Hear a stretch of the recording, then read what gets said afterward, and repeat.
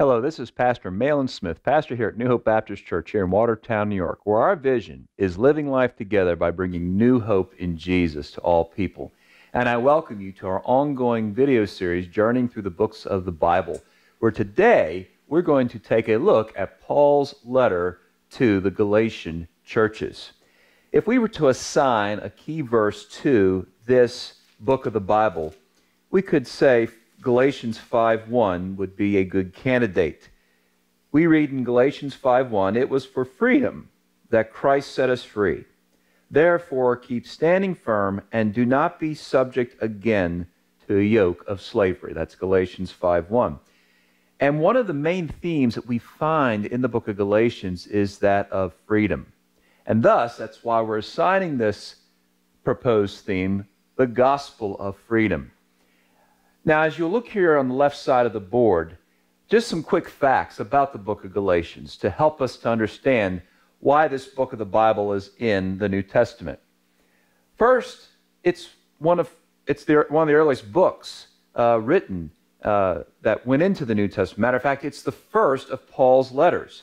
Um, alongside with the book of James, it is the oldest uh, New Testament book. And so this means then that the book of Galatians would have been written before even any of the four gospels. Even though the four gospels appear uh, at the beginning of our New Testaments due to their priority and the fact that they tell about the uh, life, death, burial, resurrection of Jesus Christ, yet in terms of the chronology of the writing of the books of the Bible, Galatians is among the earliest. In terms of the key doctrine, that we find taught in the book of Galatians? It is that of justification. Now, what is justification? Well, when it comes to describing Christian salvation, at saving faith, God declares the sinner to be righteous. And what God does in this legal declaration of justification, he credits the sinner with the righteousness of Jesus Christ. Now, I have here a tablet, and this tablet has a little red line going down on the left side. And maybe you've seen uh, notebooks or you may own one. This is what we call a left justified margin. And what this does, this helps you to be able to write uh, in a straight line. And so whatever you're writing on this pad, the left side will remain perfectly straight. And so they call this a left justified margin. Uh, when you're typing on a computer, sometimes you'll uh, type out what's called right justi- justified.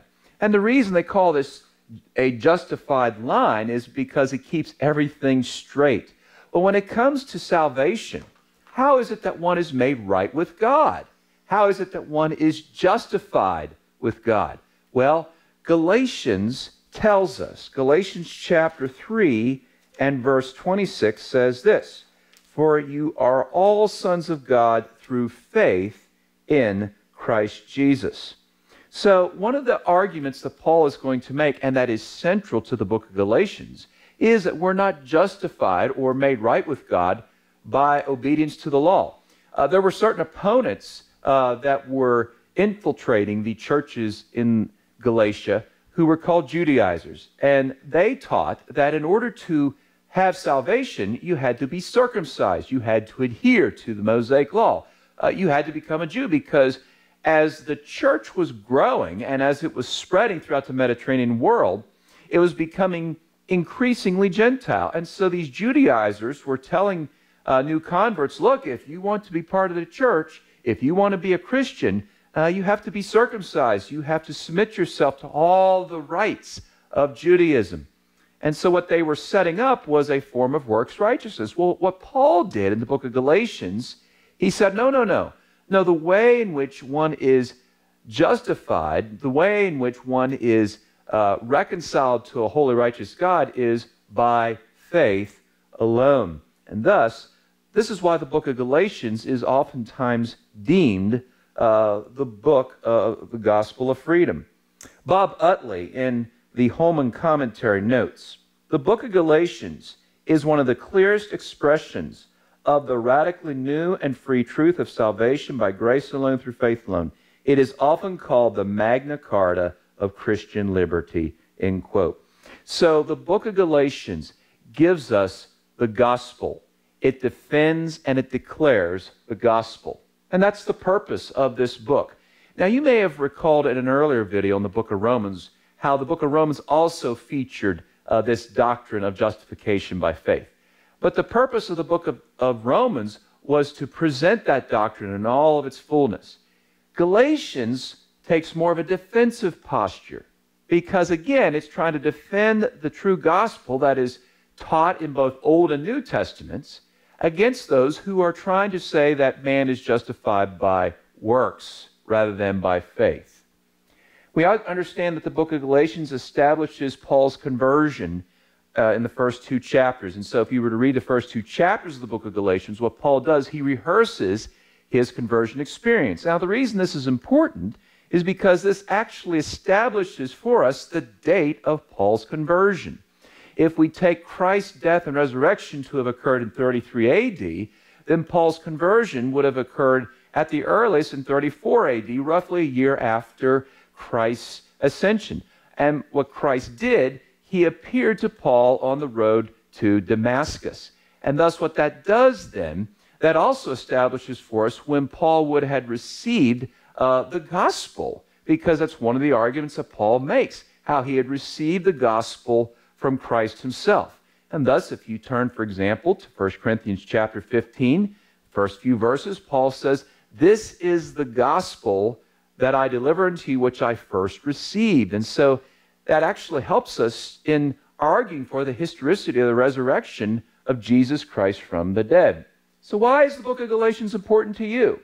Well, it helps us to understand better the gospel that saves, uh, that imparts unto us salvation, but also two other important points namely, the gospel that sanctifies and sustains every follower of Jesus Christ. Now, what do I mean by sanctify?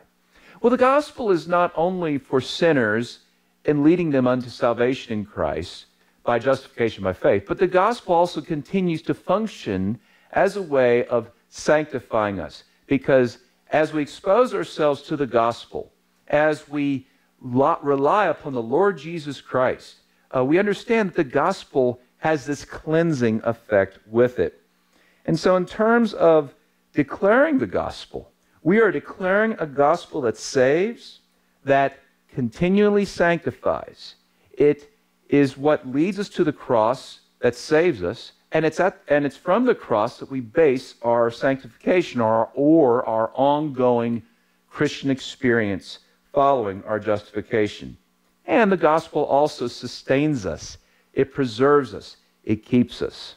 So, if we were to outline the book of Galatians, we could first of all note defending the gospel of freedom. And again, that's what Paul does in the first two chapters. Then, declaring the gospel of freedom. Now, you may have noticed that I have been referring repeatedly to this theme of freedom. And in terms of what does the gospel actually free us from? Well, in chapter 1, we understand that it frees us from this current age. People all over the world are trying to be more popular, better looking, all of the pressures of life. But what the gospel does, it reminds me that I don't find my ultimate worth in myself or in other people. I find my worth in Christ. Uh, in chapter 2, we understand that the gospel frees us from self righteousness. Uh, the problem with the Judaizers, Paul's opponents in Galatia, were that they said, no, the way you please God is by performance. And sadly, in a lot of churches today, we even see that from time to time. But no, God accepts us on the grounds of what Christ has already achieved for us. In chapter 3 of Galatians, we are freed from religious performance. We bring pleasure to God all because of what Christ has done. I love this. We also are freed by the gospel from our past. A lot of people uh, still hang on to the past, cling on to the past. But Christ rewrote our past at salvation. And thus, now our past is defined by Him, which means then we have hope for the future and we have the faith that we need to carry on in the present. And so the gospel frees us from things, and it frees us to things. What does it free us to do? It frees us to live for God by the power of the Holy Spirit. You see, justification grants to us a position with God. I am the righteousness of God in Jesus Christ. God has declared that to me at salvation. I'm credited with the righteousness of Christ. But now in sanctification, what the Holy Spirit does, He frees me to become an experience in sanctification whom God has already declared me to be in justification. So, for example, in Galatians 5:16, but I say walk by the Spirit, and you will not carry out the desire of the flesh. So we see then that the gospel frees us to live for God. And that's what makes this such a powerful letter. That's what makes this a, such a powerful book of the Bible because we have this gospel of freedom. And so this is the book of Galatians in a nutshell. And I would encourage you to read it. It's only six chapters in length, but I assure you it'll be well worth your time. This is Pastor Malin Smith. Thank you for joining us in this study of Galatians, the gospel of freedom.